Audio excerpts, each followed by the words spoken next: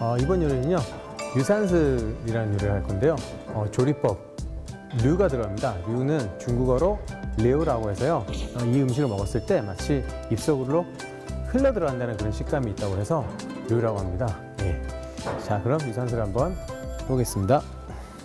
채썬 도제고기를